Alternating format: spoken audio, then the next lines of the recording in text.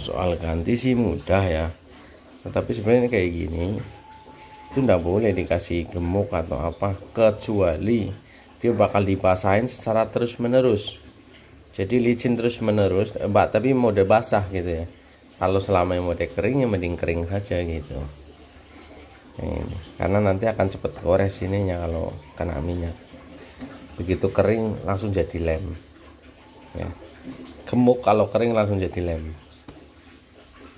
Oli pokoknya kalau kering langsung jadi lem. Jadi ya gitu. Harus pasang basah terus. Kalau mau kering kering sekalian.